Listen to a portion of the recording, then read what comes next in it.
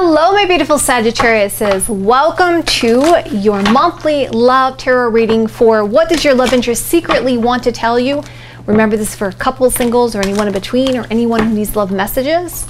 And this is general messages so you can check your moon, your rising, and your sun sign for more information. And I want to thank you guys for liking, sharing, and subscribing. And thank you to all my members. I really appreciate all of your support. I do have a free reading contest going on right now. Uh, I will give all the information at the end of this video, so stick with me till the end. I don't want to take up too much of your time because I want to jump right in. So if you guys like it this way, you want me to continue to do it this way, hit that like button. Let me know in the comments below. You can do both. So the question we're going to ask today, how do they feel about you? What do they need to make this connection work? What do they secretly want to tell you? And what's your advice for this connection? All right, so let's jump right in. We're going to start with the feelings. How does Sagittarius' love interest, the one they're here for, the one they want to know about, how does Sagittarius' love interest feel about them romantically? Show me the cards I need to see. Show me the cards I need to see. Okay, so Sagittarius, they feel like there is a new life here and a great foundation for change. They want to give you a message to let you know the grass isn't always greener on the other side because they're ready to clear the air here. This person, there's something to do with people, family, friends, or the public that they feel is very supportive to the situation. They want to resolve this unfinished business with you. Okay? They want to bring it to the harmony into the situation. I feel like they want to just take off that mask and they want to reveal some things to you. They want to bring some things to light here because they feel like, all right, you know, we already have this foundation built here. We can have this new life. We just focus on the change here. I, I feel like this person's like, I'm ready for some kind of huge change here. I've seen the bigger picture and I'm just ready to clear the air and clean this up. Community card for me says, I want to go out with you and or I want to start a family with you or there's something to do with family, friends, are some people involved with this to bring support to bring this uh, situation to um, to resolve this situation that's unfinished here to bring it into harmony. That's what i feel like. Because i feel like these cards are a little bit darker than you come down here. You know this is like the outcome card for me. It's like they really want to bring light to things. They want to clear the air. They want it to be uh, uh, brought into harmony. And you know there's just there's a sense of potential there for that. Okay let's keep going this person feels like there's been some conflict and chaos and they want a victory or they want your attention here because they know that you're destined to be together. This person wants a decision here because they're regretting about what happened and they know time is running out. They're ready to just go for it and take a leap of faith. And they've been at a crossroads about what to do, what direction to go they watch you, they observe you, they may watch you from afar, they may spy on you. Uh, they do enjoy their time with you and they, they just want to be with you and they don't want to look at the past. They don't want to focus on the future here. They just want to be with you in this moment. They want to give you a hug. They want you to know that they, that they love you. Because this person does have a sense of regrets here about a decision, about this risk, where they don't want to regret making this decision and going for it. And this is why they're at a crossroads.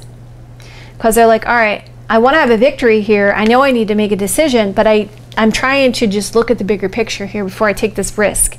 There's been arguments here, and I'm indecisive here, but I know that I just want to enjoy my time with this person because I know that we are destined to be together. You know, I'm really hopeful about things. All right, let's keep going.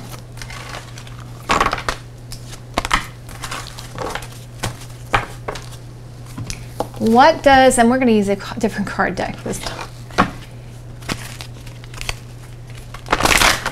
What does Sagittarius love interest need to make this connection work? What does Sagittarius love interest make, need to make this connection work? Show me the cards I need to see. Show me the cards I need to see. Okay, so they need a sacred connection, romantic gestures. Okay, freedom around chemistry and passion. they need to know that this is going to be a part of their life purpose and not distortions when it comes to putting work or effort into this connection.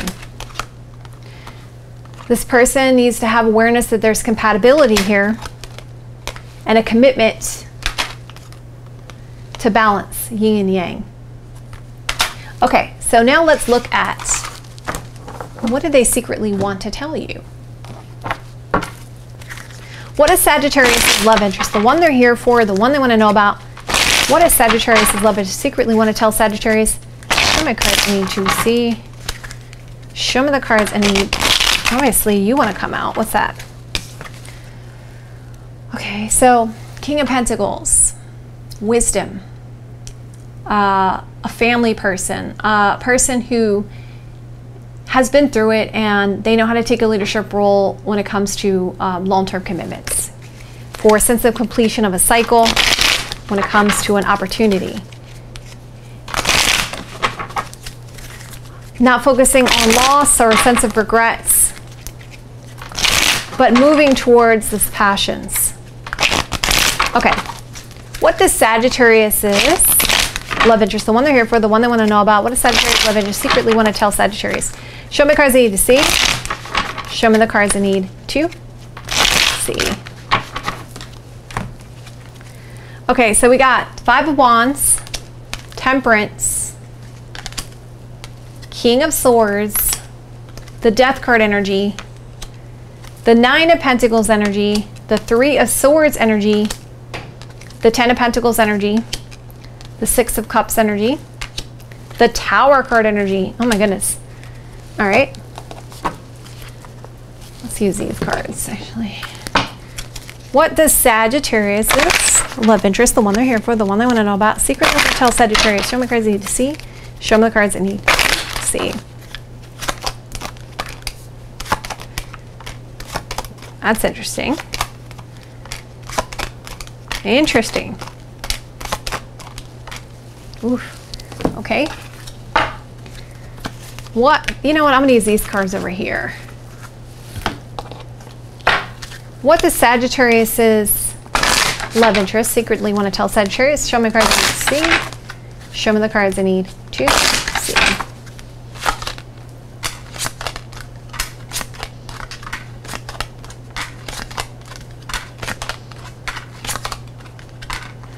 There is a lot of friggin' tower shocky kind of cards in your reading, that's for sure. My goodness. All right. Let's come to the, the central of the reading, okay? What do they secretly want to tell you? Well, I feel like Nine of Pentacles is saying self-focus, single and available to pursue. They want to tell you that they are single and available to pursue. Why do I say that? Or they want you to be single and available to pursue because temperance is above it.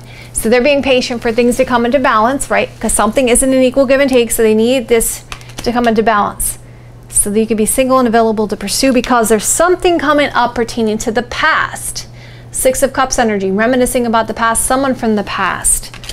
There's arguments and disputes happening here or competition where they're trying to be patient for things to be brought into balance.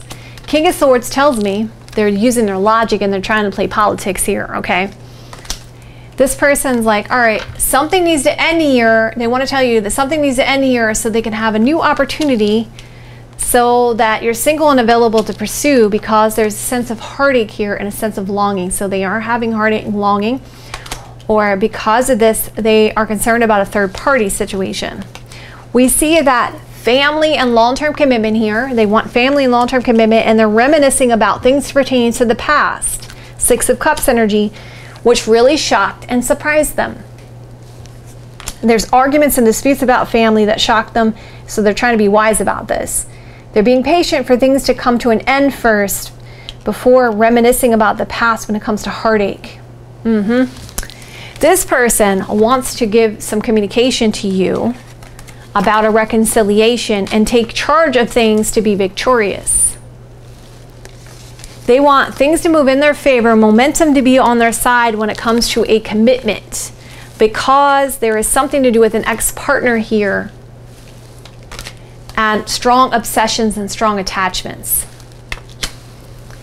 There's something to do with a reconciliation, zombies cards coming out, somebody from the past, and something to do with feeling like they're being attacked, feeling like they're overwhelmed by a sense of abundance because of a friend, doll card energy, or loyalty towards something secret here when it comes to romance that really shocked and surprised them.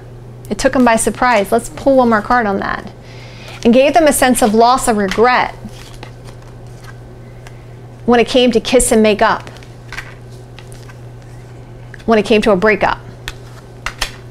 And we go further, if they lay a little bit more on here, Sagittarius, communication, they want to communicate with you these obsessions because of a soulmate connection. They do love you.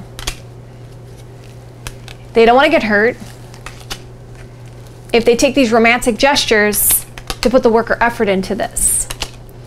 And they lack the courage and confidence because of the wisdom of the past when it came to love, which is giving them the defeated energy should I stand up and fight or should I walk away from the situation? And going further down, they have romantic feelings for you, Sagittarius, and they're hoping that you're single and available to pursue because they do miss you. But they're at a crossroads like, what do I do here? I need to make a decision when it comes to new love. But I have uncertainty of whether Sagittarius actually feels the same as I do.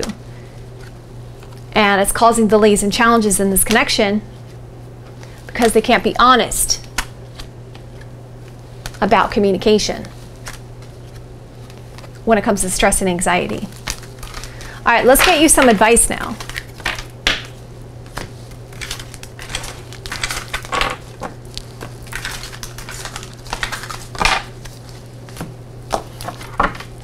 Can I have some advice from Sagittarius for the highest best good when it comes to this love connection? Can I have some advice for my Sagittarius when it comes to this love connection for the highest best good? Show me the cards I need to see. Show me the cards I need to see. Okay. Okay, Sagittarius, they're saying that you need to have the strength and the courage and the confidence here.